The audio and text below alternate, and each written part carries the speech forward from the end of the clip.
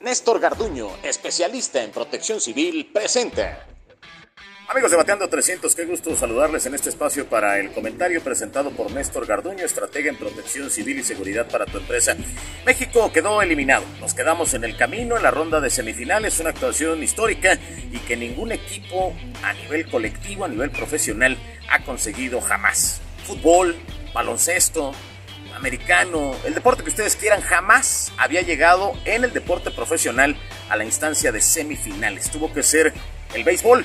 Es momento de tomársela en serio y darle el justo valor a las disciplinas, así como pues en otras disciplinas no se le hacía mucho caso a Ana Gabriela Guevara hasta que fue campeona del mundo, no se le hacía mucho caso a Soraya Jiménez hasta que ganó una medalla olímpica y así podemos ir dando varios ejemplos de cómo el deporte no se le hace tanto caso hasta que logra algo. Checo Pérez el mismo domingo consiguió un primer lugar en el Gran Premio de Fórmula 1 y ahora tocó el deporte colectivo. Hay que darle su justo nivel. El béisbol es una potencia en nuestro país. En México realmente somos de los equipos más poderosos en todo el mundo y hay que darle ese nivel. Es obvio que el negocio no puede competir con el fútbol, aunque realmente sea un deporte en el que lastimosamente somos mediocres. Sin embargo, una cosa es negocio y la otra cosa es deportivo. A nivel deportivo, el béisbol está muy pero muy por encima de cualquier otro deporte colectivo en nuestro país y esta actuación en el Clásico Mundial viene a demostrarlo. Realmente se tuvo en la palma de la mano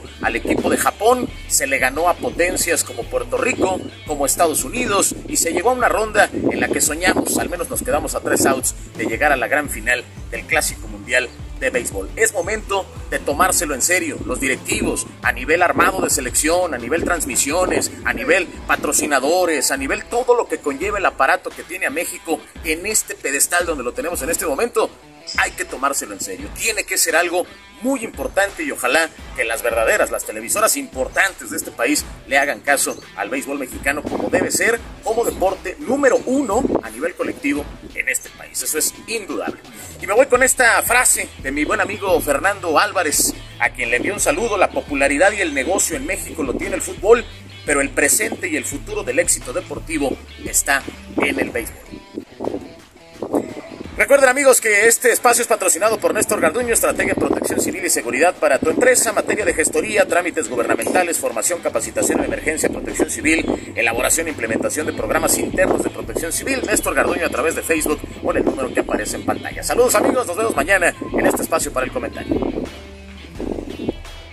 Néstor Garduño, especialista en protección civil, presentó.